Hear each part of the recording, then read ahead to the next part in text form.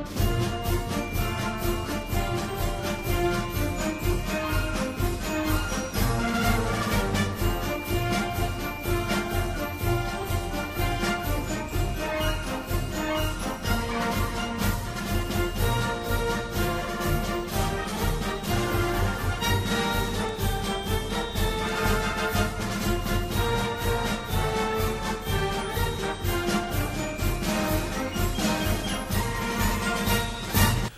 Uh, good afternoon. Ta- Today is the 1st of April in 2015. I'm Daryl Peterson, a volunteer at the Palm Springs Air Museum here in Palm Springs, California. As part of the, the Veterans History Project of the Library of Congress in Washington, D.C., we conduct interviews of veterans and civilians who participated in our country's military conflicts, especially World War II. Today I'm here at the museum with uh, uh, Mr. Leo Mittler, who is a Holocaust survivor as well as a, a, uh veteran of the U.S. Army. Uh, his wife is also here, uh, Florence, and uh, we're glad to have you both here and uh, look forward to hearing your experiences. So. Thank you. Thank you. Start off by having you give your full name and spelling it and telling us where and when you were born. My name is Leo Mittler, M-I-T-T-L-E-R, and I was born in Poland in a small town named Andrychów, A-N-D-R-Y-C-H-O-W. It's about 12 miles away from Auschwitz, between Krakow and Bielsko, the, those main cities. And uh, during the war, I was taken as a prisoner, Holocaust, survivor, you know, concentration camp as a Mhm. slave labor, and I had to work over there and so on. Can we uh, first tell us a little bit about your family and uh, what was happening, I guess, before uh, you were uh, taken? And, Well, my, my father was a big patriot of Polish patriot, and uh, he we uh, what I understand we had a chance to immigrate to Australia, and uh, my father didn't want to. He says, ah, "This is my country," and uh, he stayed there during the Germany what's what's going on the Holocaust and everything else. so this was in like the mid 30s or. Right, beginning 30s, right, Okay. and uh, And- yeah. And what occupation uh, was he? Uh, My, my father had a factory. He was producing shoe leather, a tannery we had. oh, And uh, first he started by hand, like, like people start business in garage. And then he made money and everything and was good, so he bought a piece of land and he built a factory. And in 1935, as a matter of fact, the factory was built and was christened by a rabbi and so on. And the business was flourishing, and we were pretty well-to-do family. We we had the uh, maid, and uh, I, as a matter of fact, had a nanny when I was a kid, and so on. And uh, we lived very modestly. My mother used to go to, uh, you know, for resort for summertime, and uh, we lived very comfortable till the war broke out. And when the broke, when the war broke out in 1939, like hell broke loose. mhm. We got separated. My father won out because we were running away from the Germans. So my father won out that part of Poland, which was occupied by the Russian, and my mother and my grandmother and myself, we were separated from them, and uh, we were caught by the Germans, and we had to come back home to our. So you uh, you have one brother or one sister? I had two brothers. Two brothers? and myself. And they're older, younger? They're older. They're my uh, one the oldest one, six years older than I was. He just passed away about five years ago. I brought him here from uh, from Israel, and the, the other one, when the Germans occupied the part Russia, when they were, they the Jews have to had to dig their own grave and they shot him. Hmm. my father somehow managed to get a hold of a high-ranking German officer, and he told him what kind of trade he has. So they told him, "You get two more men and a woman, and we're gonna use you." So he was looking for my brother, but he couldn't find him because there were a lot of and young fellas go with young fellas together, so he couldn't find them, and he had they didn't give him time to look hard for him, mm. so he couldn't find them, and uh, he was working for the army. What he was one because the army needed a lot of cows to kill for meat and so on, so they were giving him the hides, and he was man, producing the leather for the shoes, you know. Mm-hmm and he had a paper, this Jew is, do not harm him from the German army. But when the Russians start coming back, the Germans took off, left him. So the Ukraine, some Ukrainians who hated Jews came in and they took them all and shot them. And how do I know? Because there was one Paul from my town used to come to my father every month he gave him bread and he gave him a lot of food because he had a lot of food from the army. And, uh, and that was in January 1944. He went there and the house was empty, so he inquired by the neighbors. So they told him that Ukrainians came in and they killed him. Hmm. So back up a little bit here and tell us about the life before the occupation? Uh, you know, what, what kind of school did you go to? I went, uh, well, uh, I went to the third grade public school because I was only nine, ten. no, I was already at that time 12 years old. And uh, we had a normal life. I belonged to Boy Scouts and we had activities, uh, sports and clubs. and uh, and was, the, was that segregated at that time, or was no, it? there was no segregation. Everybody was but, happy uh, together. Huh? Usually, Jewish uh, people stick together, you know, so they were together, uh, belong to the community, and then they had a, a club, Jewish clubs over there, and so on. And I belonged to Boy Scout, and uh, in 1939, as well, we were in a mountain retreat for a couple of weeks but we had to make short because the war started very was rambling already that's gonna so we came home and sure enough on September 1st in 39 the war broke out. My father had a truck and he used to go once a month to a few slaughterhouses and buy in the hides and bring them and we had like 75 80 I don't know remember exactly employees working and, equipment. he just bought brand new equipment when he finished the building, and uh, the business was very nice. Man. As a matter of fact, we were uh, in Polish. There were some other tanneries, so we were the second best producer of the leather, and we also supplied to Bata factory hides Bata, shoes. I don't know if you heard about. Um, it's a it's a famous European and in, Canada, as a matter of fact, they have a factory. Uh, Bata, it's called in Czechoslovakia, and we were selling to them uh, hides, you know, for manufacture for the.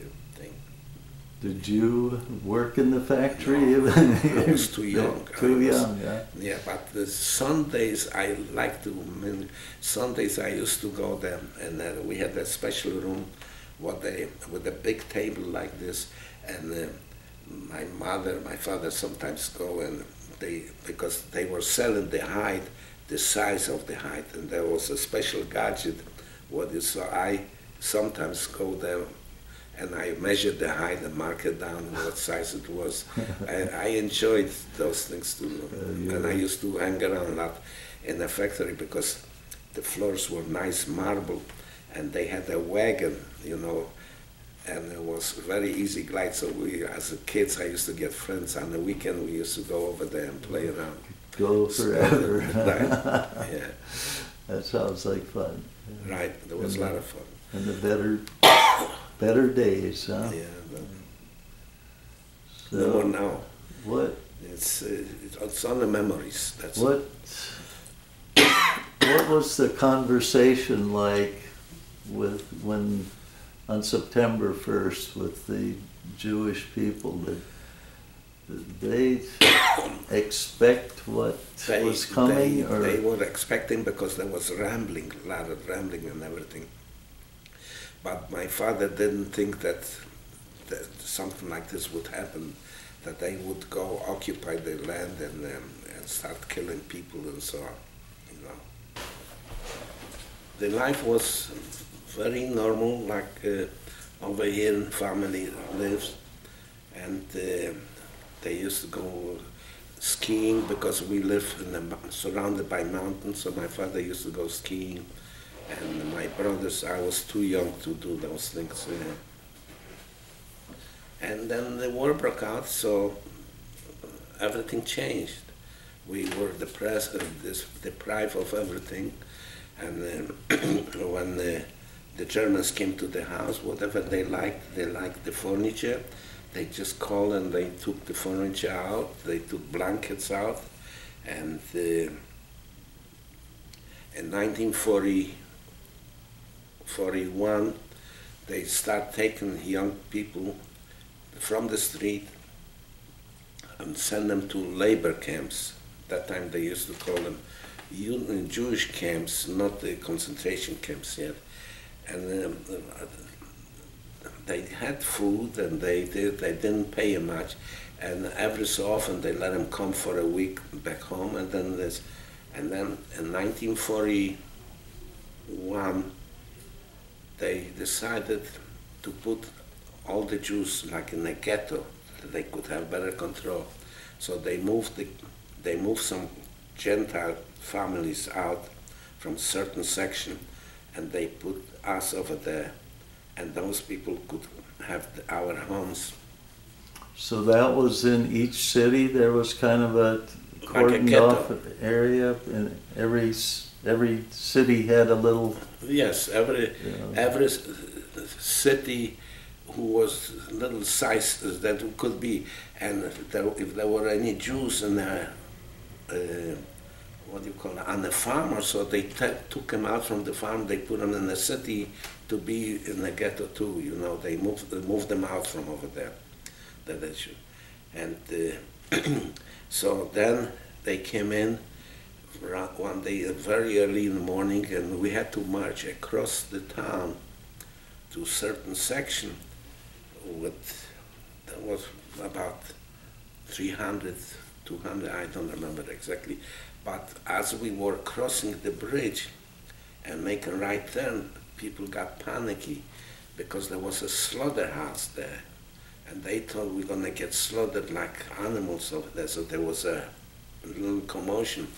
So they stopped and uh, said, what's going on? So the, our eldest, we had this representative who was in charge of us. He says, why do you have to march us across the town? You could have killed us over there. Why, why you have to go to the slaughterhouse to kill us? Also, he so the one officer, the German, says, "Oh no, no, no, we're not going to kill you. We, we just want to check something." So sure enough, we stayed there overnight.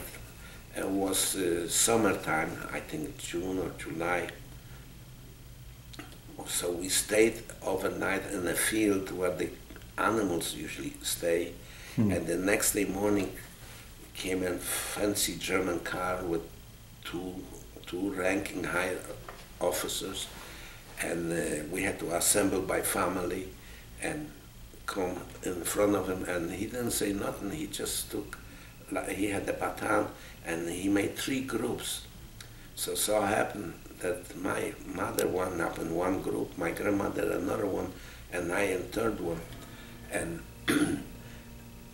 myself, they took with the, the other people what I wind up, they marched us to the railroad station, and they put us on train, and they sent us to another Jew, uh, uh, city, which is big Jewish population. There was a Jewish school there, big building and everything. And in that building, they had hundreds and hundreds of young people, And from over there, they were sending them to different places to work, to Germany. My mother, they left alone that she should go back to the ghetto, and my grandmother, with some other old ladies with children, they put him on a truck and they took him to Auschwitz to be killed right away. Hmm. Now, I was there about five, six days in that uh, school over there, and one day they brought some young girls from some different town, Jewish girls, and they didn't want that we should mingle with them, we should talk to them. So we stayed on a field for quite a few hours and was sun, and what happened, I passed out. So they took me to a room and uh, there was a Jewish fellow doctor who knew my uncle very well, and uh, he says, "This kid is not ready yet to go," and they discharged me. So when they discharged me, they sent me back home. Day later, there was a girl who another fellow tried to fix up that she could get out, something like me. They discharged her, but they sent her direct to Auschwitz mm. to be killed. So I, I don't know, even now, you know, I'm 88 years old, I feel like I have something up above me what's what watching me that I'm still alive. Yeah. You know? So you were like 14 at that, at that time? that time I was I was 14 years. Yeah. So I came home. My mother was very happy. She was working in the kitchen over there. She was so happy, and uh, she was cooking for us, uh, making uh, coffee and a sandwich for breakfast, and then they were cooking for supper when we came in. We, we had a meal like stew. Most of the time was stew or something like that. Anyway, I came home. She was so happy and everything, and I stayed there. And it took about a few more months, maybe half a year. I don't remember exactly. She and she used to get up to, to the kitchen very early to, to prepare because we had to leave by seven o'clock. So she had to get up, I don't know, four o'clock or whatever. Mm to prepare this thing. And she wakes me up. She says, "Wake up! They came back. They're gonna take you." So she made me a backpack and everything. And uh, same thing happened. We had to get out outside, and the guys came in. They didn't take me. They took my mother. They took my mother and some other ladies and children, and they put her on the truck and direct to the to Auschwitz. They took it and uh, we were still there for a few months. And uh, after a few months, they decided they're going to close the camp, the ghetto. So first they took all the men and they sent me to a steel mill factory. It was still in Poland. Uh, the name was Królewska Huta, and we were working there for a few weeks. And uh, the Germans decided to move us, to, so they send us to Czechoslovakia to coal mine, to Karvin, a coal mine, and we, that time was already a, a, camp, about 1,500 people there, and we worked in the coal mine over there. We weren't that long, about six months they decided they're going to move us again, so they moved us to another camp, and I stayed there, I think, a week or two, and from this camp, there was about 10,000 people then. There was a distribution camp, Grossrosen was the name. And from that camp, they sent me to a camp named Markstedt. Markstedt was a camp by Breslau, by Wrocław, and there, there were Kruppwerk, machine, you know, the Krupp uh, they were making war production, mm. guns and uh, yeah. military equipment. And they, I went over there. There was 5,000 of us over there in that camp. And we used to work uh, like slave over there. And they put me first, they put me to work, uh, laying, they showed me how to lay bricks. And I was laying bricks. At that time I was already 15, 15 and a half years old.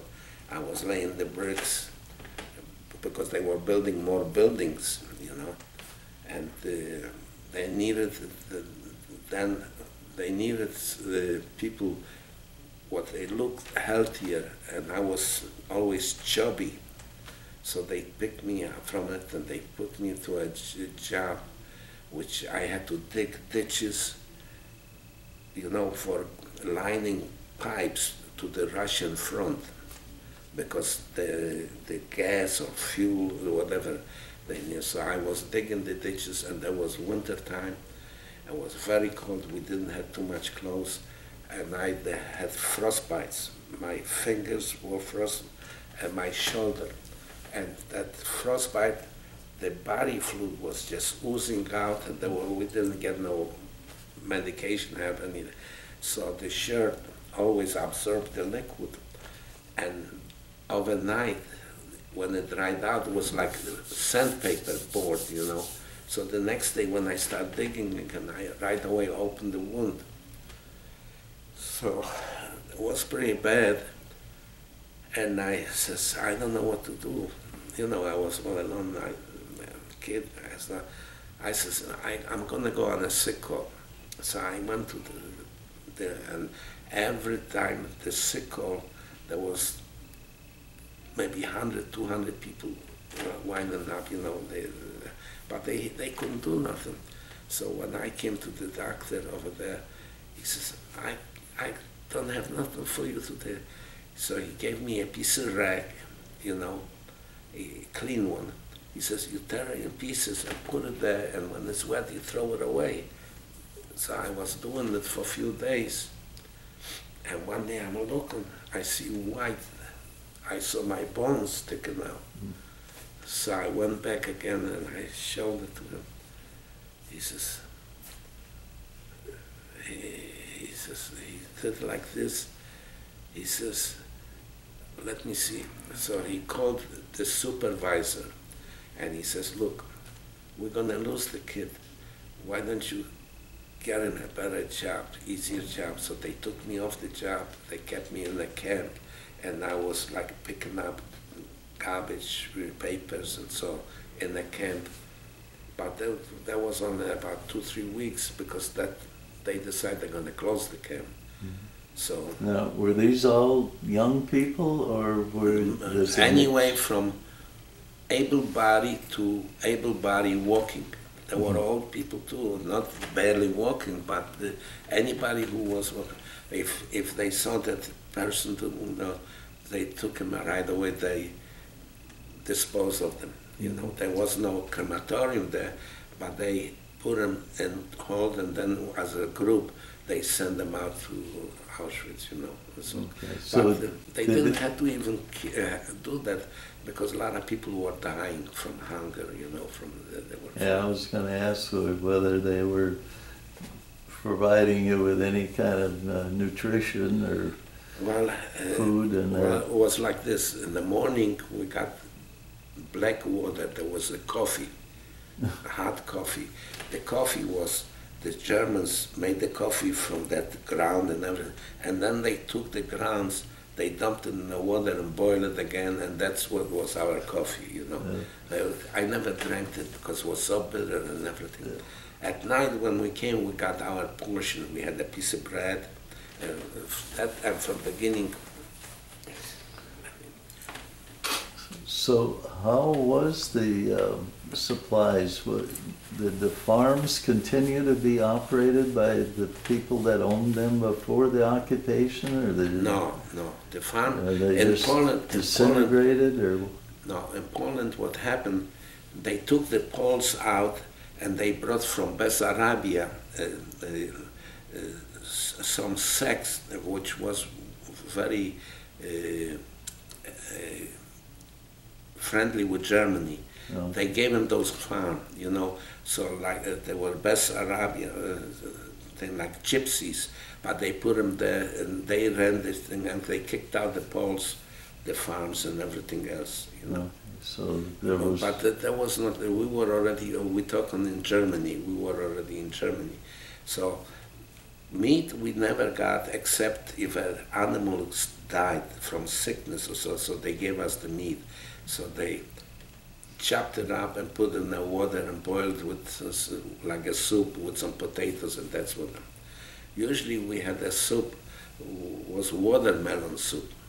That was our yeah watermelon. That was the thing.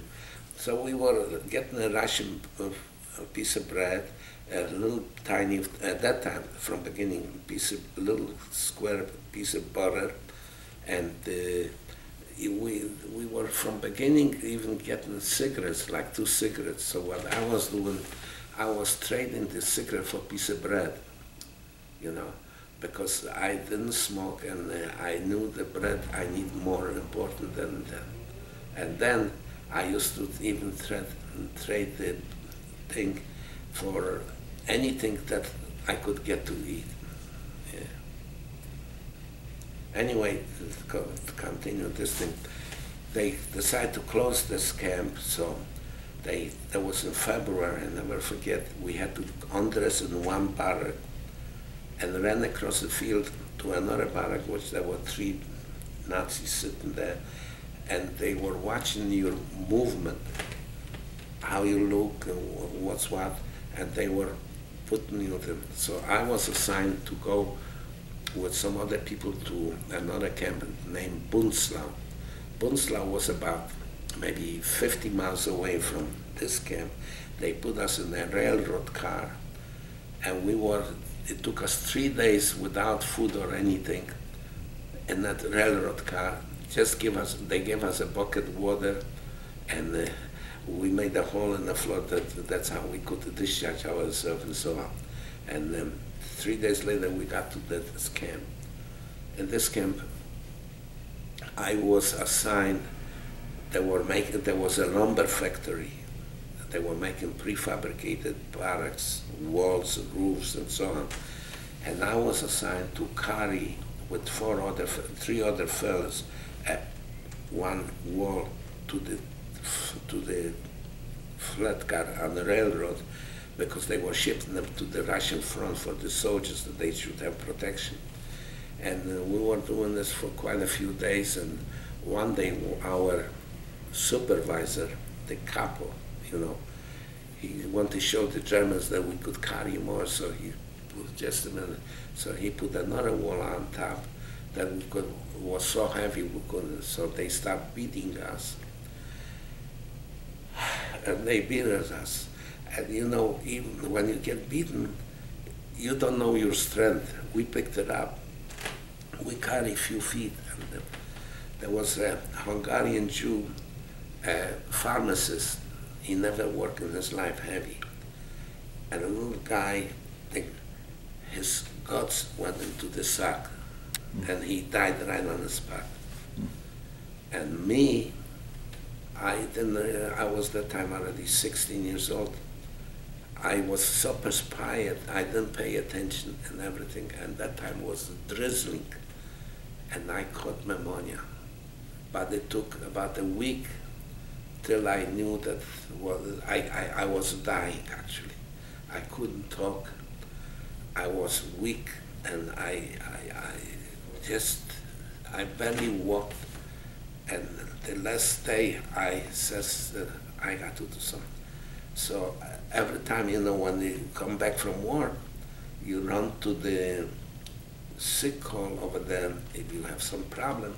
So I went there, but oh, there is a lot of other people. There was 1,500 people in that camp, hmm. and there is always about 50, maybe 100 lining up. And I couldn't stay in line, so I lay down against the building on the floor, and I lay. I figured when the last guy comes in, I'm gonna go in there. So sure enough, when the last guy finished, I got up. So the guy who was helping the doctor, he says, "Get the hell out of here, we finish." And I started making noises. I couldn't. My I didn't talk normal, just sound, making some kind of noise. So the doctor heard some kind of noise. He came out. What's going on? And he sees something not normal with me. So he took me in. He says to me, "You're very sick. How come you wait last minute to come?" I, I couldn't talk. I would sign. You know, I talked this. He says, "I can't do nothing for you," but he called the supervisor just like before, different camp. He says, "Look, this kid we're gonna lose. I can't do nothing. He's sick." but we can save him. So he says, take him to work, put him in the hole and bury him that they shouldn't see him that he's not working. And when he comes back, I'm going to have a room because each camps like this, there was only limited people what he can have on a sick. So, and over that, he could have on a 10 people sick, you know. So he kept it. So he apparently discharged somebody else when I came back from that. I went direct there. I didn't eat and everything. So the next day they took a chair. They like you, and they tied me up to the chair. He took a needle about so big and a little thinner than that, and through my rib cage he pierced through my lung. There was so much pressure, so the, the whole wall was flooded with yellow fruit. Huh. Hmm. The whole wall, and as soon that happened, I was like newborn person. I says, I can talk, I can breathe. I couldn't breathe before. I, uh, the way I was breathing, that's how I was breathing. So anyway, the, so he says, uh, and beside this, I had a very, very high temperature, very high temperature from the, so he says, you'll be all right, be all right, quiet. So he kept me there on the two days, and I wasn't perfect in this, but he says, look, we need desperately to, you're going to be okay, you go out. And they let, they send me out back to work. And he told the same guy who took me, I think, he says, don't give him the same work. So they gave me driving nails in the boards, you know, so I was at least doing that. And then a few months later, I heard that they're going to send a group of people to different camp. So I said to myself, it can be worse. It can be worse. Maybe it's going to be better And sure enough, uh, I got, I, they took me, there was, um, I don't know how many people, they put us on trucks and they took us to the other camp. My uncle was there. Hmm. And my uncle was a couple. And he had a deal with the kitchen guy because he knew him and so on, that he was getting double ration of food. So when I came in, you know, the everybody comes in and asks, what's your name, what's what? So when I said Mittler, so he says, that your father here? I says, no, my father, no, but maybe my uncle. Children of my uncle was there. So they took me to him. He, my uncle took a sandwich right from under behind his pillow. He gave it to me. I devoured like an animal. and uh, that's, uh, that's so they, he made a deal that I was getting double ration of food, and that's how I survived. Hmm. My uncle died in Savannah three days after the liberation. Oh, yeah. That was a couple of years later. Well, only one year, not even one year later, half a year later. Oh, okay. Because uh, I, I was liberated February 10, 1945 by the Russian troops, and he was liberated in uh, April in Czechoslovakia by the Russian, but he died because of typhus hmm. three days after liberation. So what what happened to your father? You may have said it, but I. My father, they killed him. They, the Ukrainians, they killed my father and the two other men and a woman. They shot him because they Jews. Okay. So, well, that was a terrible time of history. Yeah, very. Now I, I came home everything was confiscated. The Poles took it. I couldn't get nothing. And then all of a sudden, you know, we had the factory, and what happened during the war, a German from Bremen, who was manufacturing for war production, he was banned. So they gave him a choice to come to move to this factory. So he did, and he he got uh, machine, a tool dime machinery. And that, there was 300 people on three shifts working 24 hours a day mm. over there during the war. And beautiful machinery. So when the Russians came in, they took everything out. And I, like a kid, I was that time 17 years old. I didn't know what's communism or anything. And I wanted to stop him. to the, so they were laughing and kicked me out from the factory. So I cry, I was crying and ran, ran to the mayor of town, tell him. So he says, you can't do those things, this is different world. But I'll take a look what's going on. So the, the liberating force was the Russians? or the- Russians, Okay, yeah. So he went there, he tried to talk to this. So he says, I'm gonna put request to send him to Siberia. To send me, so, so I, so when he told me that, I says, why, what did I do? Because you have a bourgeois ideas. So I had to run away from my town. So I moved to Krakow and meanwhile, my Poles knew where I was and my uncle sent a, a telegram to my mother, you know, and I replied to it that I am only alive. And uh, he sent papers to come to this country. So I went to Warsaw. That was in 1945 yet. And I think in June, July, I went to Warsaw American consulate. So he says, yeah, the papers don't mean nothing we only take an American citizen. You are eventually going to get there, but um, not right now. So, and there was a friend of my uncle who was living in the town where my uncle used to live. And I went there because he, my uncle says he's going to give me money and so on, help me out. So he says, why don't you go to the American zone? The American zone, you're going to be able to go in no time. So I smuggled myself through the borders and everything to Germany. And I went over there, reported, showed them the papers. So I was the third person what had affidavit to come to America. But it still took two years almost. So April 22nd, 1947, I came to this country. Hmm. So what, what did you do in the, in the meantime, and how, how did you get from Well, one place to the I other? was- Did I wasn't displaced person. Hitchhike? No, there was a camp. We had they had camps in Germany. Displaced person, UNRRA. You know UNRRA? Homeland? UNRRA, UNRRA, United Restitution. So it They was were, like they were helping they were refugees. Am- American. Yeah, they were helping the refugees. Right, okay. And I I was uh, in one camp, and I was uh, uh, like a policeman in that camp. You know, making the thing, and that's how I stayed there for a couple of years till they called me in, and they I came to this country. And I came in 47. I tried to get a job. I had a hell of a job to get a job because I didn't talk English. But finally, I got a job. This uh, by Studebaker dealer, you know, as a auto mechanic helper. And, uh, the minimum wage was 75 cents an hour. That time, uh, he paid me 50 cents.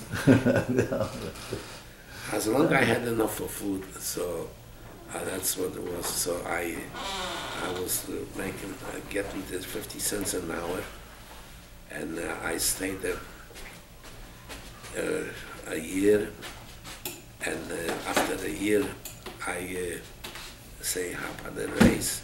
So the fellow who was a shop foreman, he was an old Austrian, the best, excuse my expression, he hated the Jews, but he worked for the Jews because the dealership was a Jewish owned. You know? so I said to the boss, you know what you got here? He said, he's my breadwinner. Man. he was a good mechanic, so uh, and he taught me, but he was a real tough guy. He says, you want something, you come to me. You don't come to him. I am the boss here. So anyway, I had a run with him. I almost had a fight because the Nuremberg trial was going on. And one day when we were taking break, he says, that son of a gun, Roosevelt, they should have hanged him before they hanged those Nazis over there. so I said, why? So he says, you shut up. You're gonna... So I said, you're going to hit me? I was that time 20 years old. I said, you're going to hit me? Go ahead. I would have killed him on the spot over there. not that I'm a hero, but you know, just from a hatred what I had. Anyway, and I, I changed the job because I went uh, for a week vacation, and I went to a Ford agent dealership, and I introduced myself, and I, at that time already I spoke a little uh, English, and I used to go to night school, you know, to learn more basic English. So I introduced myself. He hired me immediately, dollar twenty-five an hour. So I said to him, I can't leave. I have to. I want to be a nice guy. Tell him to this. So I went over there. He, I told him that I'm leaving. So he says, "Well, okay, go ahead." Hmm. so he, he, that's okay. So I left. I went over there. I worked there for another year, and the Korean War broke out. In June or July, I got the greeting, "I want you." So I had to go to for the board and everything. And in July, I was in uh, Fort Dix uh, taking basic training. When when did you get your citizenship then? After I got discharged from the service. oh, so you were not a citizen No, even I though, was not, no. but you were drafted. There was a lot of people. There were Puerto Ricans and Spanish, and a lot of Holocaust survivors. They none none of them was Jewish. Jewish you know, the citizens. No. Hmm. Uh, I got my So- citizen after five years. Okay, I didn't. Uh, I didn't know they were. Oh yeah. Uh, yeah uh, how would they? How would the they even thing. find out about you that uh, you're? Well, you had to register, you know. Okay. You had to register as you come in. You had to register, especially there was a draft age that time, and uh, the age was there.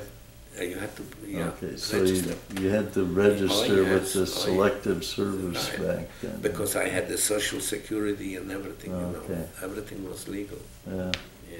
Wow. So now you're in the army. No, I was in the army. I served my two years, and I never resented because I learned how to live with people. I, I, I my youth was an, an slave, so and you live for yourself. Everybody is on his own, like it's a doggy's dog, you know. Yeah. And uh, I learned how to live with people and. Uh, and the main thing, I learned good English, and uh, I got out uh, after two years. So where where did they send you for training and? Uh, Well, I went to basic training in Fort Dix, New Jersey, and then we moved to Camp uh, Fort Meade, Maryland. That's uh, we we were in a regiment which was protecting Washington capital and so on. Uh, it's an armored regiment, and then. Uh, well, they sent me to Fort Knox, Kentucky for a 10 year course because they got brand new tanks, different models. So I went for a 10 week course over there. And I had papers to go to Korea. But when I reported, first I went home for uh, 10 days. And then when I report, he says, the sergeant says, Soldier, you're not go no place. I said, Oh, how come? We need you here. They sent me to North Carolina, they had maneuvers over there. In North Carolina, they didn't have no tank mechanics. Uh. So I went to, to North Carolina for, I think we were there for about three months. And then after this, they sent me to camp, Breckinridge, Kentucky. That's the 101st Airborne, but the 101st Airborne wasn't there there was a boot camp for new recruits coming in, and I was a cadre over there for a short time. And then I got again papers to go to Korea. I kept my mouth shut. I know I wouldn't go anymore because I was due for discharge in a few months. okay. But I kept my mouth shut because I want, want to go home and, uh, you know. So I went home, and then when I reported back, I said, Sarge, by the time I get there, you're going to have to send me back. He says, what do you mean? I says, I'm due to discharge in July or August. So he looks, Jesus Christ, how did we miss that? so, so that was my... Pays to speak up. Huh? Well, I, uh, nobody wants to go to fight. you know. It's it's a horrible thing, war. Okay. That's for sure. So they they, they let you go? Well, know, he, he, he sent me back to my old outfit, where I originally was. And uh, that was Camp Pickett, Virginia. And I spent three months over there in Camp Pickett. And I, so I took advantage. I took a GED test, you know, the high school thing, and I passed it, not with flying colors, but I passed it, I think was 70 or 69, something like that. You know, and uh, I was in the motor pool over there with, and uh, that's how I. Mm-hmm. And the one thing was very touchy when I was drafted, which I never expected that place, the Ford dealer where I worked, they made a collection. I never, they made a party for me too, because I, I, cry, I even now when they cry. I, you know, it was so touchy, you know. I, I didn't expect it. And I never forget, they, they raised $87. oh my God, they was so, and the, the boss, the boss was, he was a very wealthy uh, philanthropist uh, guy. He had so much money, he had fingers in a lot of things, and people were running for him but they wrap him blind. Oh. So, but anyway, he came to that thing, and he says, when you come back, you got the job here. You don't have to worry. You come back. When I came back, the, they went. They closed up the place. Oh. because the the people, the employees, were stealing them blind over there. Yeah. There was a guy over there working. He had he had his own parts place in the basement over there. He was stealing because I was working in the new car department, you know, installing the radios, and the, he was taking radios and stealing, and then selling them on the side. Oh, yeah. That's low, very yeah. low, you know. And and everybody else, they were stealing the, the you know, hmm. terrible. So now you're out of work, huh? Now I am out. of, I'm looking for a job. My wife needs money. oh well, you you have to tell us how you met your wife. You want to? Yeah, but how about a little break for him? Okay, all right. We'll uh, take a break. Here. We made.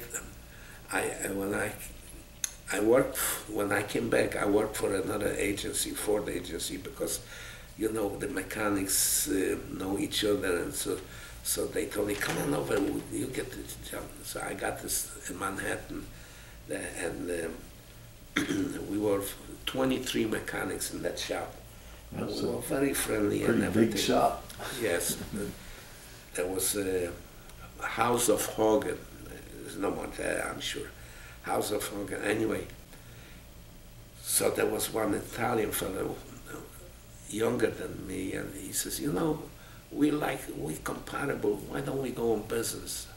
So I said to him, fine, but I ain't got no money. So he says, can you scrape $1,500? I says, I don't know. I have to ask my friends. My uncle, I wouldn't even ask. So I talked to a friend of mine. He, he was making good money. he says, I'll loan it to you. And he got it from his father, $1,500, $3,000. And that time, in 1956, they were go, opening up gas stations every corner. Yeah. Sometimes the Gulf station was at four corners, every corner was a Gulf station. And we got a Gulf station in Long Island. And he was with me for about half a year, and then he said, You guys are too good to be together. We have another Gulf station, so they took my partner and they sent him to school to Connecticut and they gave him another Gulf station at uh, Long Island. Uh, I don't remember the place anyway. And he had the gas station there. And, uh, and I had mine. And then I brought my brother in, and he was mechanic too. So after a while, he, he was working for Volkswagen's companies and so on and he, he was a go-getter, go-getter. So I took him in as a partner. Did he So- have similar experience with the camps No, in he Europe? He survived in the South, uh, in uh, Asia, through the Russian, Russians sent him to, to a commune. He was crippled on one foot, you know, he had Oh. one foot shoulders, so they wouldn't put him in the army, but uh, he, and he survived. So he came home in 1956, but I wasn't there anymore. Hmm. And he got married and so. Anyway, so I said, I'm taking a partner, but I'm afraid I'm losing my brother, and that's what exactly happened. that's why I'm here, because uh, we didn't get along, you know. I run business legit. This guy wanted to do a different way. I don't like it, so I said here, and we moved to Colorado. So I lived in Colorado for 35 years, Oh, in Denver or Denver. yeah. So you have a car dealership there? Or, No, not dealership. I, uh, I, I first I went there to, I was working as a foreman in the F- Volkswagen agency for a year. Meanwhile, I was looking where, what location, and Denver at that time, the repair shops, the small repair shops were like a hole in the wall. So I, uh, I bought a, a property and I built a shop and uh, I had a few mechanics working for me. Plus I was mechanic and thank God, worked out good. I still own the property. oh, That's how is I it still a, a oh, yeah. repair? Oh repair yes, shop? oh yes. As a matter of Yeah. fact, and the fellow, he's there for 25 years. He just signed a contract for another 10 years with me. Oh, okay. He's making good money. Good location, Uh, huh? Very location, location, Right. fantastic. Yeah. So when did you meet your wife in uh, all In these travels? 1958, uh, sometimes summertime, and uh, my friend's uh, aunt was in the summer in the mountains of the Jewish Alps, and uh, she met her mother, and she says, "Would you like to meet a young fella?" So she said, "Well, I I, a fella anytime." so, so what happened? So what happened? Uh, I had a blind date, but the trouble is, you know, when you have a gas station, you don't have to. I work six days a week, and sometimes more. You know, Yeah, on Sunday I want to clean, the, clean, clean up. You know, Yeah. clean up the place, and uh, we. I met her, and we went a couple times, and I didn't have time to, you know, to socializing so much and everything. So I, so I suggested, how about? So we married on her birthday. And, her birthday and where were where were you born? And were you Brooklyn. born in the you were Brooklyn. Brooklyn? Yes. Okay, so you Very nice You've Jewish area. Uh, They had s- synagogues on the corner. We could see the couples getting married, and it was really nice. But we we dated for like six months, and we got engaged, and six weeks later we got married because he had nobody, Mhm. and he worked his head off. He'd come to pick me up for a date, and he'd fall asleep on the couch. and my mother said, "Well, let's put him to bed and forget the date." And we did that a lot of times. He was exhausted, so that we finally cut them down to shorter hours that we could have a life. yeah. And uh, so we're married 56 years. What Wow. impressed me very much in this country, you know, in Poland, there was a church over there, and there was a big swimming pool in my town built, mm, the Olympic pool, and we used to go there quite often. And a shortcut was to go through the church. The Catholic Church wouldn't allow the Jewish kids go through Oh, you know. And they, uh, it was such a thing. And what happened, I came to this country, especially when I had the gas station, I had priests coming to me. I couldn't believe it. I couldn't believe it, you know. I never forget the Reverend Hempel. I still remember the name. 50. He, he came to me every time. He left me the car, whatever necessary to and everything, you know, and uh, really that impressed me so much, you know, with this country and everything. He But went. they were rare, the He nice went. ones. He went to. He went to Alaska, and uh, well, I opened the '56, maybe '58, maybe '58 or '60. He went to Alaska. He says, "You take the car apart, fix it. I don't want to have any trouble with the car." He put, even put new tires and everything. He went. He came back. I think after three or four months, he came back. So how was it? Well, I had to replace few windshields. He had to replace, you know, because that the roads were that time the rocks. It Oh, was not yeah. paved, and uh, when they Gravel he followed truck or so, they picked the rocks and put. He had few a few windshield had to replace. Yeah. So did, back in Poland, did you go to Hebrew school and uh, Oh yes. get your oh, bar yes. mitzvah? and all? I, I went to. I had bar mitzvah. My father wasn't there, you know, because it was in four, 1940. I had my bar mitzvah, but uh, I went to the Hebrew school and I learned. I am not so good on uh, reading, uh, uh, no, but uh, when my father built the factory, one of my brothers came out the bar mitzvah, so he invited the whole Jewish congregation to the factory.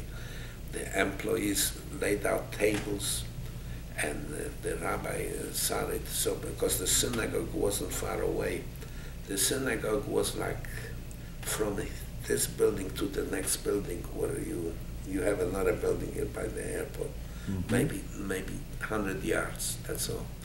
So they are holding from the service, and uh, my grandmother cooked, and they made, had a meal there and everything, and the rabbi said blessing and everything else. And it was very nice. So They came were there from all Germans over. there at that time? No, no. This is before the That was Germans. 35, 1935. Oh, there, okay, Yeah. all right. But he has a reputation as a very honest mechanic. To this day, they came Wow. from all over. Yeah, And second generation also. We watched these kids grow up, and then their parents said, "You take your car to Leo. He will just put in what you need, and he'll if he can fix it, he'll do it."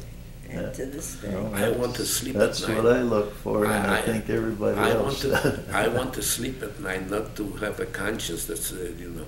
I had a couple families from Connecticut, they used to come. They used to live in New York before, but they moved to Connecticut, the company moved them. And he used to take a special day off and come to, to, for, for service with the car. To, Mhm.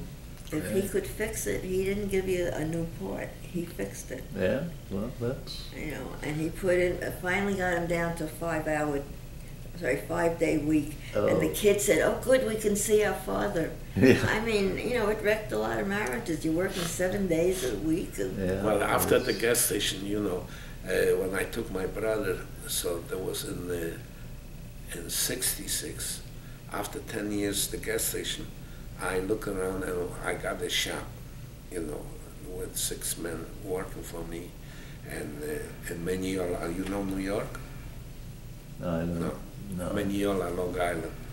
I had a pretty big shop over there, and people follow. I had a following. And, And I went to work what in she the office. what she's talking, Ah, what yeah, she's talking about what she's talking of fixing like alternator you know what's an alternator the generator right, started. I didn't get the rebuild starter put it in. I took it apart I put new brushes I cleaned it out I put it back. I charged them my fair price but it was less money than I would get rebuilt. And this They were carb- carburetors, you know, the old type Yeah. cars. And car- Uh, I used used to to, I used to take it apart, boil them, clean them, put them together, Yeah, and I used to do those things, everything. right, yeah. Well, that's, that's a successful business. you know. People don't like to be overcharged. No, people, and. people, people don't mind to pay as long as they know that it's legitimate. Yeah. I have here a good man. You're looking for a good man? I mean, honest guy, good. He, he's not cheap because not Which one is he? Huh? Which one? What's his name? Uh, he's on the uh, off Cook. Uh, Cam, Cam Stone? Camstone. That's the one I go to. That's it. Guy. His name is Guy. He runs the business like I run, and he knows me. Right. He knows me. Guy Camstone. That's a That's- mentor. That's where I go. So that's, so you're going to the good place. I sent anybody the, the, when they noticed, they asked me. I sent quite a few people there. So, um, You know, you know, you know uh, Vince, Vincent uh, Anderson? Anderson. You know Vincent Anderson. He was a he's a speaker here about the. Uh, the, the na- he was in the navy. The, the uh, He uh, wrote the book for Leo. He- Oh, he created okay. it. All right. He's unbelievable. I said- Anyone who wants a book like that, he does the whole thing Oh, and that- doesn't charge any. This is the picture book? Yes, Right, I mean, right. it took him forever because he kept adding to and it. he didn't charge nothing. No, Right. and he said you can recommend anybody to me. I love doing it. Oh, I said only thing don't hound me. I have to do I it at my pace. I sent Vincent over there even to come. He swears by him. yeah. Okay, I, uh, yeah, Vince is tall. I don't, I don't He's have as many memorabilia as you do. It's gonna be much thinner book. Well, that Vince kept adding. I mean, we were amazed. He kept. I said to Leo finally, I, I can't show the book to anyone because he's taking it back to add more stuff. And so I got hold of Vince through his wife, and I said, she says, I know what you're going to tell me. He's adding again. I said, yeah, do something. So she did. I got the book back, and I never asked her what she did. I said, thank you. I said, well, we have stuff we want to put in, and some of it is fragile, so we don't want to keep it just in the house. So finally, uh, he said, oh, okay, I have another project. I said, thank you, Lord. he, but he, Uh, But it is a masterpiece. I, I haven't seen it He's- all, but it, I. I mean, I couldn't believe where he went for research. Okay. And when my son came out, he got him involved in it. So my Oh. son's doing it back in Colorado. And and the two of them were engrossed. And I said to my son, that book is not leaving this house until we die. That's it. I said, you, Vince put enough into it. I mean, Yeah, he wouldn't take a penny for it. That's wonderful to have a, a keepsake like that. That's Well, really. Okay. I don't know if he ever trained for it or he did it No, all on his own. He's on his own. He's got the software for it. It's a beautiful gift. Yes, it And he's a very, very fine person, although now he's alone. His wife passed on, so his son stays with him, I believe.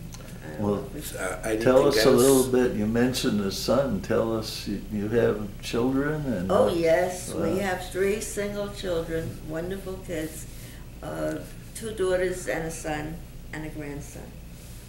The Holy And Terror. Are they spread out over the Well, world or? one s- son and daughter live together in Aurora, Colorado. They and share a house. What's their names? It's just Well, for my the son is. Perry, Perry Michael Mittler, and uh, I'm trying to remember what Felice Lynn Mittler. That's the two that share a house with the, their dogs. So uh, they're considered family. So have to announce they also have each have a dog. Uh-huh. And uh, my other daughter lives now. She moved Pompano Beach. Right. Edith Florida. Joyce Mittler. In Florida? She- in Florida, Oh. yeah. She just got a nice new job, and she has a son, Jordan Mittler. I forgot the middle name. Jordan, what the heck is his middle name? Jordan Mifflin. Okay, that's Okay, enough. Jordan Mittler. No dog. You're on the But, uh, camera. Oh, I forgot. I'm sorry, camera. You get loosened up. I've never been on camera before that I Right. remember anyway. But uh, no, but they're, they're wonderful is- kids. But no, nobody got married, so Okay. How, how old's the grandson? he will be In In May, he's going to be they're 10 one day years apart. Oh. Leo and my grandson, one day apart. Uh-huh. But Jordan decides. Except the years are not the s- a day apart. no, but Jordan starts two months before to nudge uh, to remember it's his birthday. And I said, Jordan, how could we forget your birthday? He says it's possible. I said, no, don't worry about it. Okay, Grandma, if you say so. And So he's he's a lot of fun when he comes for a visit. He's not still. Ah, and and how old is he now? He's nine and three quarters. Okay. There, Leo will be 88 and he will be 10. Okay, great, And yeah. uh, he's a is very there gifted. anything else would you like to know from me, or? The reason I'm making because I have a gardener and uh, I wanted to get him. He's supposed he's working in my house. Oh, No, outside your house, not in your house. That's a little scary. But I think the one thing that you should do is lift your shirt, you- just the arm, and display your numbers. That's the purpose of the whole thing, I Right. thought. Let it be seen that I that don't it's, know. yeah, no, it's Yeah. right here. Can you, I s- think you'll have to stand up and, uh, I think, hold it. Okay, that, that's it. Here. You see the number three five two three. Well, that's it's another story. Then uh, they tattoo me in we got it. consideration. You could sit down. Okay, but they beat. Here is another one. Oh. Can you see it? Three, five, two, three, zero. Right. Uh, Okay, there is a story to it. That, When so they you, moved, you have two, and, a same number. oh, okay. When I was in that, moved to the lumber yard factory, it was summertime. And one German, he says, what is your number? Because he didn't spot it, because it's faded. So I showed him, he says, no, you did something. He called the supervisor, the capo, and they beat me up. Hmm. And they beat me up, and then they put this number on it. Hmm. That's the same number, except uh, artistically they put it on. to ma- to make it Easier to see, yeah. Yeah, Alright. but, uh, I mean, when we, when he agreed to go, he's, he's, they said the purpose was because he was a survivor. We still meet people who said it never took place. Right, Yeah, that's amazing, I just. uh, Yes, but I I can't. I worked They're with gonna- one They're gonna honor me this coming month at the as tolerance a, at the in a tolerance center. I don't know, you know tolerance The one center? in uh, Rancho, Pa- uh, Rancho Mirage? Yes. Rancho yeah. Mirage, Yes. right. Yeah. As a Holocaust, a man of the year, year. Holocaust survivor. I'm supposed to go to San Bernardino. No, one- Sacramento, no? Sacramento, but I can't, uh, I can't take the trip. Hmm. What He's got happened, the we got, we wind up in the hospital, both of them, on pneumonia, Hmm. You know, a couple, Yeah, a for a couple break. weeks ago. And Oh, I'm really? still- Since Yeah. recent, from, The, the two of us, but a few days apart, yeah. And they weren't quite sure with the diagnosis. They think the uh, flu shot that we got caused some kind of quirk, and a lot of people got pneumonia from it. wow, Well, I Hmm. got sick on account the way they gave her a treatment. I took her uh, with emergency, eight o'clock in the evening. She laid there till three thirty in the morning on an ER. yeah. and I'm making stink about it because my immune system went so much down that I contracted. And Few you days think you later. caught something there? Right. Yeah, Few days. well, few that's days. possible. They, You they're know- not sure really what diagnosis, so they didn't know what medication to give us. And then they sent us to rehab, Hmm. and they don't order the medicine until you set foot on their premises. Yeah, I mean, it's horrible. What time Usually- is it? Usually nine o'clock I'm in bed, and I was nine o'clock till two, uh, uh, three thirty in the morning up. I couldn't function. I couldn't do nothing. The next day I Yeah, was. yeah. I, I did, she was she was in the hospital. I called and I says I can't come.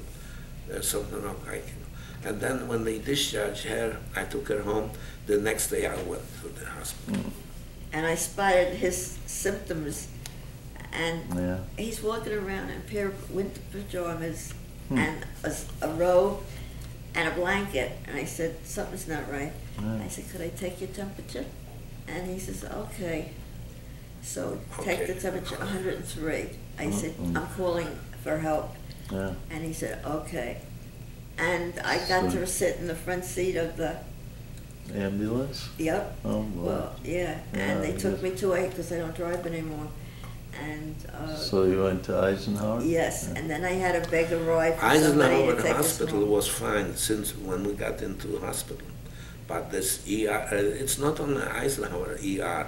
Every ER in this country is stinks, and there is something should be done about it for other people.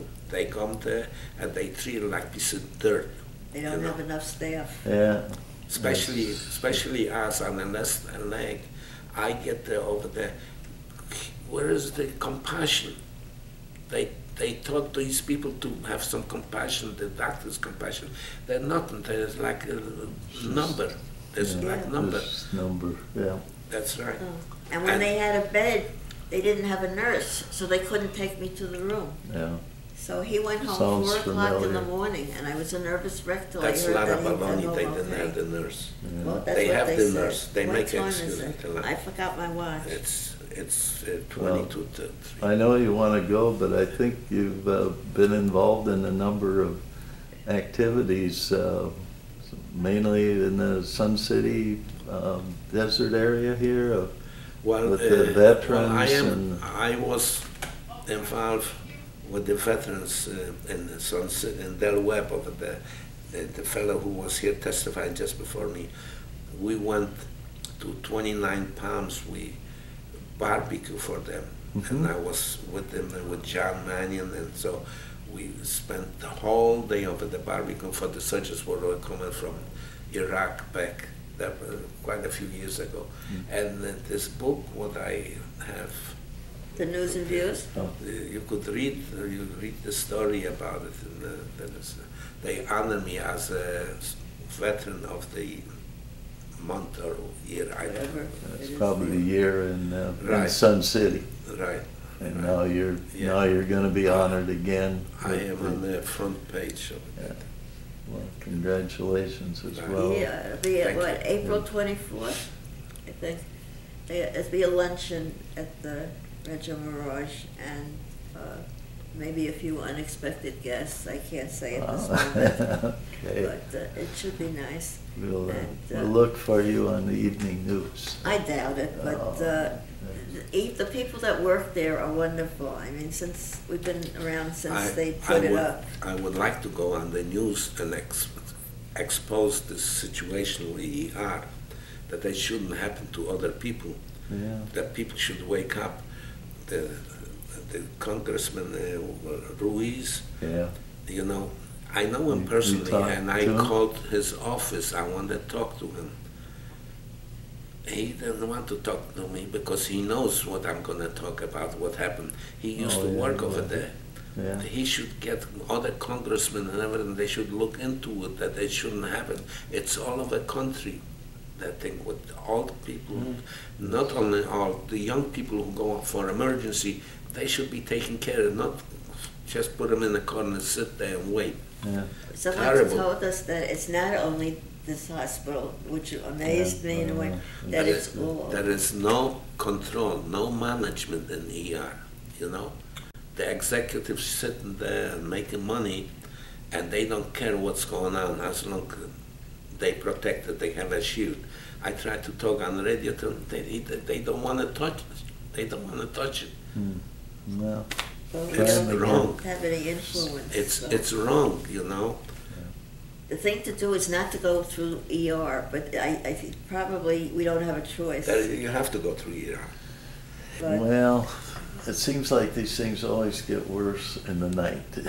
And Well, no, That's there's- only a There's choice. been, but- there's been for years like this because I've been already an emergency that three, four times, and she was like a few times, and every time it's bad. You wait an hour, two hours, three hours, but eight and a half hours. Yeah, it's, but I still meet people I- with stories like that. I never complained the two, three hours what I was waiting, and I was dying, bleeding through my rectum and everything else. Yeah. and this fine. But here, eight and a half hours, and that's why I got sick. That's why I got Yeah. sick. before you go get sick Can again. run down, get exposed to things. Well, y- yeah, and you're exposed to everything that's in that ER. Yeah. Yeah. And then they walked in at one time, a whole batch of cops, and I figured now who they. I never found out what they were, but they, you know when They had the hand prison. They had the No, prison. they were in there. on. Oh, thank They you. You answered. I didn't know what it was. Yeah. Well, I you, you didn't know what was going on. You were Well, coherent. no, that, I was walking around at that point. that Okay, was I don't want to make it short. This, are we finished?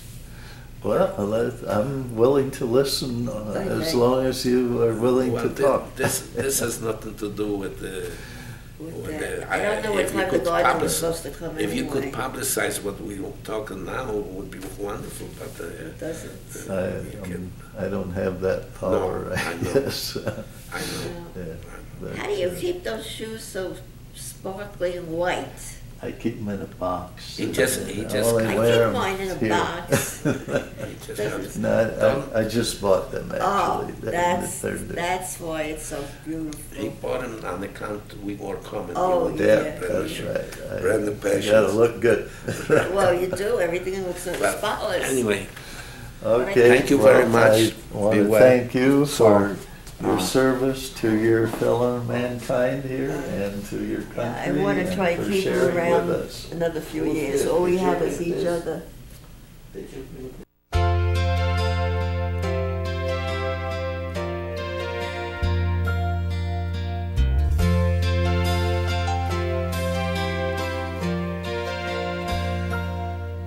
If tomorrow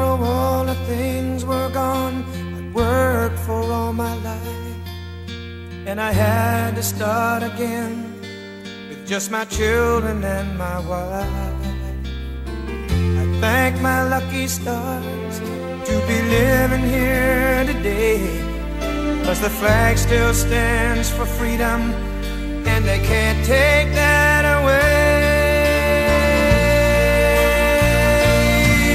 And I'm proud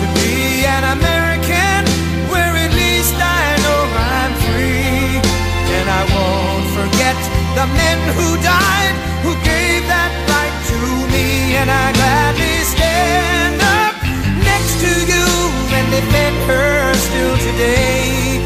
Cause there ain't no doubt I love this land. God bless the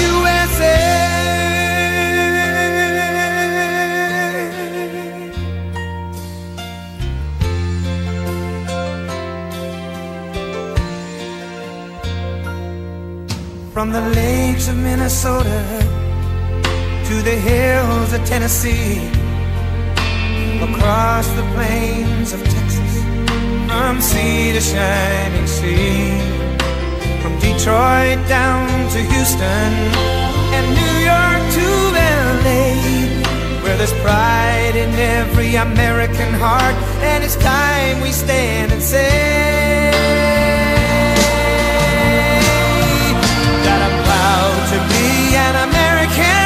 Where at least I know I'm free. And I won't forget the men who died, who gave that right to me.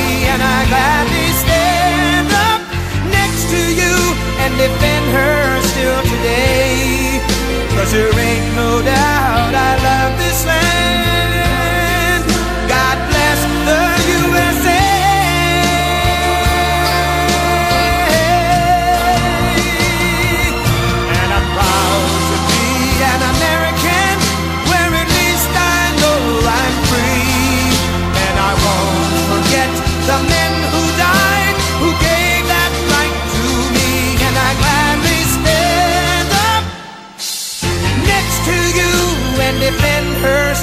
today. Cause there ain't no doubt I love this land.